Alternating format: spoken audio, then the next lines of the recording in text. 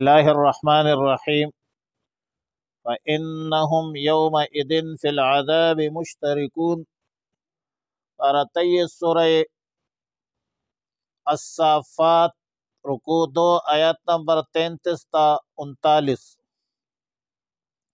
گزشتہ آیتوں میں گمراہ تابعین گمراہ مطبوعین کے مابین اختلافات، تنازعات اور ایک دوسرے پر گمراہی کی الزامات کا ذکر تھا۔ لیکن ظاہر ہے کہ دلالت اور گمراہی میں دونوں مشترک تھے، عذاب میں بھی مشترک ہوں گے۔ دونوں فریقوں کا کفر، شرک بھی ثابت ہے۔ فی العذاب مشترکون سے معلوم ہوتا ہے کہ اگر کوئی شخص کسی کو کسی ناجائز کام کی دعوت دیتا ہے، ناجائز کام یا گناہ پر آمادہ کرتا ہے اور اس حوالے سے اپنا اثر رسوخ، طاقت بھی استعمال کرتا ہے، تو یقیناً یہی دعوت یہی زور اور طاقت۔ موجب گناہ ہے بلا شبہ۔ اس میں کوئی دوسری رائے نہیں ہے۔ جس شخص نے اس دعوت کو قبول کیا اور دعوت قبول کرتے ہوئے گناہ اختیار کیا، تو وہ بھی اپنے عمل سے بری نہیں ہو سکتا۔ بروز قیامت کوئی گمراہ یہ نہیں کہہ سکتا کہ مجھے تو فلاں شخص نے گمراہ کیا تھا۔ ہاں ایک ایک بندہ ہے کہ وہ اپنی جان بچانے کے لیے تقاتو کی صورت میں وہ جبر، بربریت، اکراہ کی صورت میں اس کو گناہ پر مجبور کیا جائے۔ تو انشاءاللہ امید کی جاتی ہے کہ بروز قیامت اس کو معافی مل جائے گی۔ کزال کا نفعل بالمجرمین۔ مجرمان مجرمین کے ساتھ ایسا ہی کرتے ہیں۔ بھائی، جرم جرم ہوتا ہے۔ ظلم ظلم ہوتا ہے۔ کفر کفر ہوتا ہے۔ شرک شرک ہوتا ہے۔ چاہے خود اختیار کرے یا کسی کی دعوت پر جرم کرے، ظلم کرے، کفر اختیار کرے، شرک اختیار کرے، بلا اکراہ و جبر یقیناً جرم جرم ہے، کفر کفر ہے، شرک شرک ہے، اس کی سزا ضرور ملے گی۔ اور ان بدبختوں کو دنیا میں جب کہا جاتا تھا کہ لا الہ الا اللہ پڑھو، اعتقاد کے ساتھ پڑھو، تو یہ ظالمین، مجرمین مشرقین تکبر کرتے تھے، غرور کرتے تھے، انکار توحید کرتے تھے۔ اور یہ ظالمین مشرقین منافقین رسالت کے بغیر، رسالت کے منکر بھی تھے۔ رسول اللہ صلی اللہ علیہ وسلم جب دعوت توحید دیتے تھے، تو کہتے تھے کہ ہم تو، ہم اپنے معبودوں کو نعوذ باللہ ایک شاعر، ایک دیوانہ کی وجہ سے چھوڑ دیں۔ تو اللہ تعالیٰ نے ایک طرف رسول اللہ صلی اللہ علیہ وسلم کو تسلی دی۔ کہ یا رسول اللہ صلی اللہ علیہ وسلم، آپ اللہ کا پیغمبر ہے، نہ شاعر ہے، نہ ساحر ہے، نہ مجنون ہے۔ ایک سچا دین لے کر آئے ہیں۔ اصول توحید میں دوسرے انبیاء علیہ السلام کی تصدیق اور موافقت بھی کرتے ہیں۔ اور رد ہے ان منکرین مشرقین پر۔ بھائی رسول اللہ صلی اللہ علیہ وسلم تو ایسے اصول بتلاتے ہیں۔ جس پر سب رسولوں کا اعتماد ہے، اعتقاد اتفاق ہے۔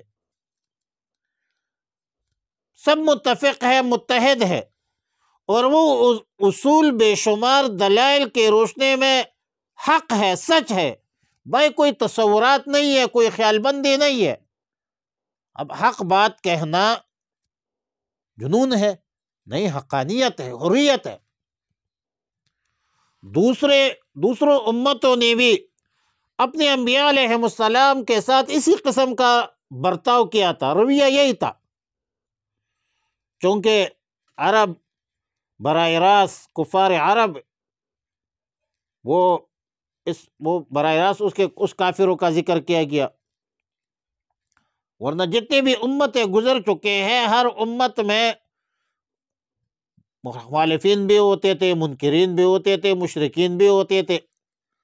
اور آیت نمبر اٹھتیس میں عذاب الہی کی چکنے کا ذکر ہے کہ ان مشرقین منکرین کو عذاب الہی مشافہتاً چکنا پڑے گا۔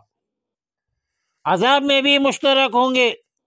تابعین اور مطبوعین کو درناک عذاب دیا جائے گا۔ اور اس حوالے سے کسی پر ظلم و زیادتی بھی نہیں ہوگی۔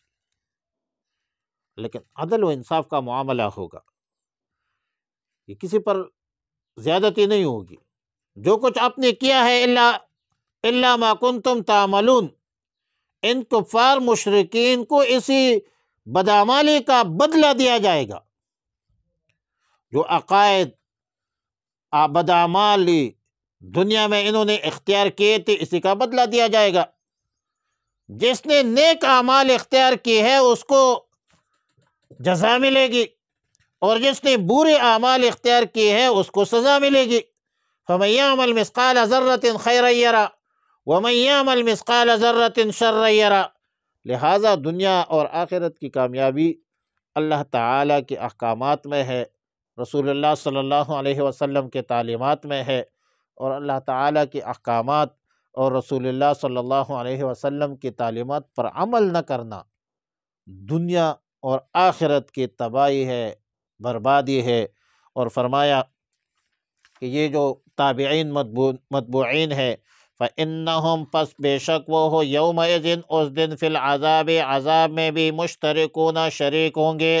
انا کزال کا بے شک ہم اسی طرح کرتے ہیں، انا کزال کا بے شک ہم اس طرح نفعلو کرتے ہیں بالمجرمین، مجرمین کے ساتھ۔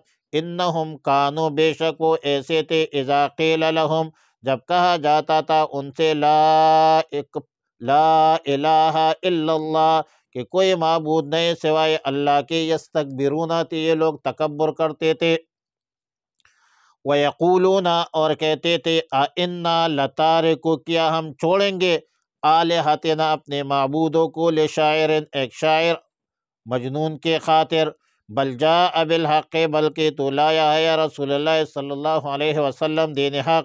وصدق المرسلین اور اس نے تصدیق کی ہے، اس کی تصدیق کی ہے رسول نے، انکم لذائق العذاب العلیم بے شک تم چکنے والے ہو، عذاب درناک وما تجزونا اور نہیں، بدلہ دیا جائے گا، بدلہ نہیں دیا جائے گا تمہیں اللہ ما کنتم تعملون مگر وہی جو تم کرتے تھے دنیا میں۔ وصلی اللہ تعالی علی خیر خلقہ محمد۔